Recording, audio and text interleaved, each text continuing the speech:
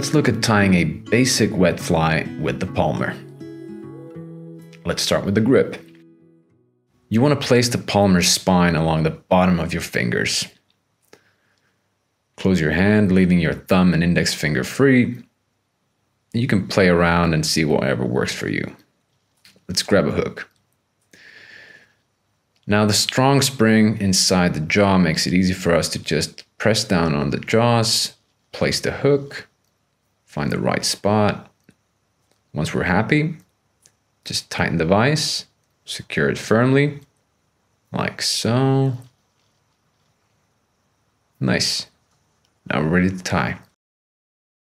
Grab your bobbin, grab the thread between your thumb and middle finger or index finger, and just start making your initial wraps. Let's cut off the excess. And there we go. Get rid of that. All right. And then just we'll work our way down the hook shank.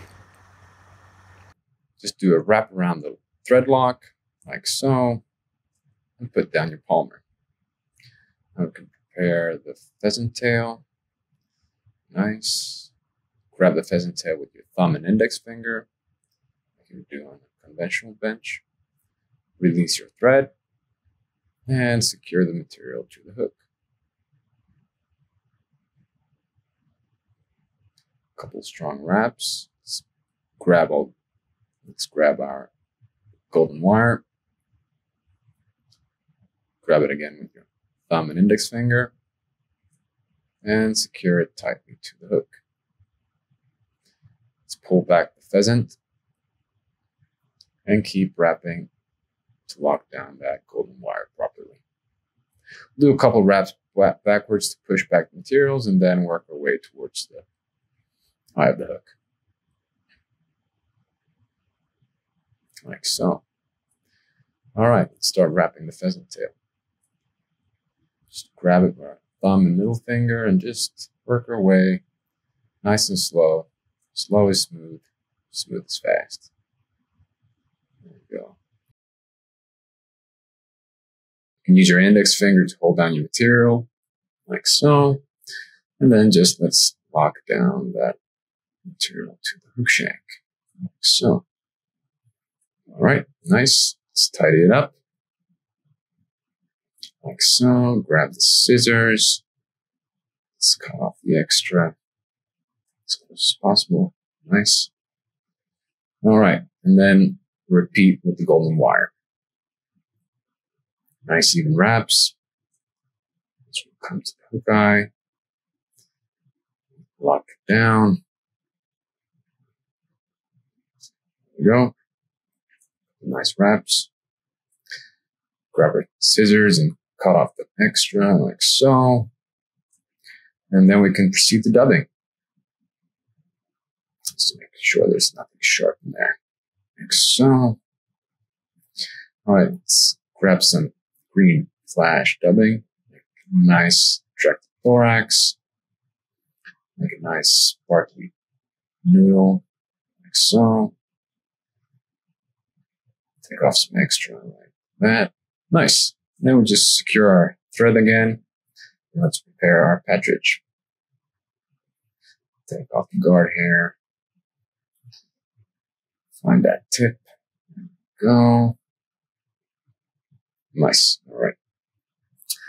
Pick up your palmer again. Use your thumb, index finger to find the right spot. Release your thread. And let's lock down that feather. Straps, pull it back. Grab our hackle pliers. And let's wrap, wrap it tightly and neatly around the hook. Back. Cross thread and the hackle like so. Lock it down, pulling back fibers. And that's it. All right. Let's cut off the extra. So, okay, I got a couple of fibers sticking out there, but we'll take care of them later. It up. All right. Then I like to make a one whip finish by hand, just to make it safe to work around my other hook. There we go. Nice. Now everything's nice and safe. Look at that head. Cut off those. Go. That. Nice. All right. It's time to whip finish. So grab the thread with your thumb.